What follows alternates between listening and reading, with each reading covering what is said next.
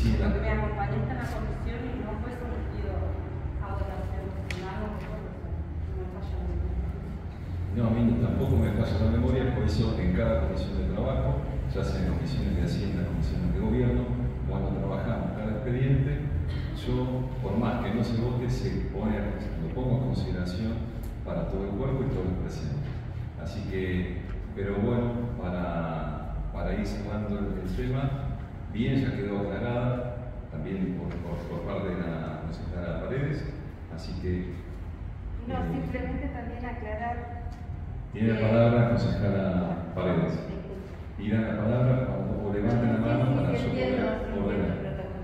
Eh, también eh, aclarar y apoyar a mi compañera, no pertenezco a la comisión, pero estuve presente.